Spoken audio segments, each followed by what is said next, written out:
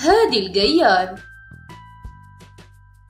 دائما ما يتعرض الفنان والذي تسلط عليه الأضواء للعديد من الأخبار. منها ما يكون صحيح ومنها ما يكون مجرد إشاعة أو خبر بعيد تماما عن الصحة. وقد امتد الأمر أن تطلق الشائعات والأخبار الكاذبة في وفاة نجم معين.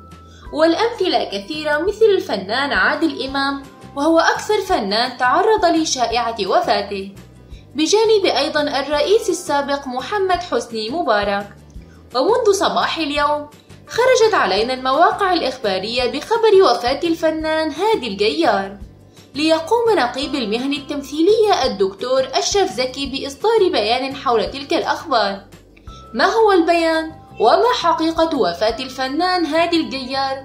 هذا ما سنعرفه بعد دقائق قليلة فتابعونا. إذا كانت هذه المرة الأولى لكم في قناة قصة حياة المشاهير فلا تنسوا عمل متابعة للقناة ليصلكم كل جديد. وأيضا لا تنسوا عمل إعجاب للفيديو. نفى نقيب المهن التمثيلية الفنان أشرف زكي شائعة وفاة الفنان الكبير هادي الجيار والتي تم تداولها منذ ساعات على بعض المواقع. وقال زكي في تصريحات خاصة إن ما يتم تداوله غير حقيقي وكذب مؤكدا أن الفنان هادي الجيار يتمتع بصحة جيدة ولا صحة لما ينشر على مواقع التواصل الاجتماعي عن تدهور حالته أو وفاته.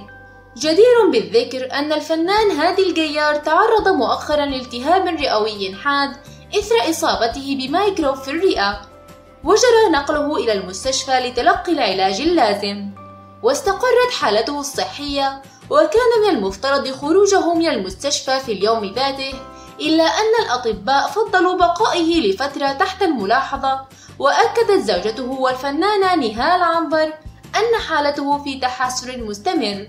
ويشار إلى أن هادي الجيار شارك في مسلسلي قمر هادي مع هاني سلامة وولد الغلابة مع أحمد السقا خلال شهر رمضان الماضي. ونحن نتمنى السلامة للفنان هادي الجيار ونسأل الله أن يمتعه بالصحة والعافية.